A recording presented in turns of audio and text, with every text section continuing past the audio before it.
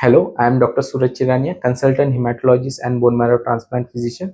Let's understand acute lymphoblastic leukemia or ALL in five simple points.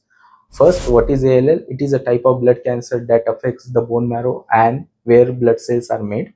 Second, who gets it? ALL can affect both children and adults. It's more common in young children. Third, what happens in ALL?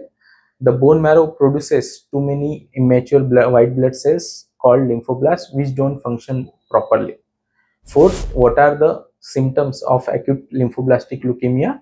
Uh, fatigue, frequent infections, bleeding, bone pain or swollen lymph nodes are common signs.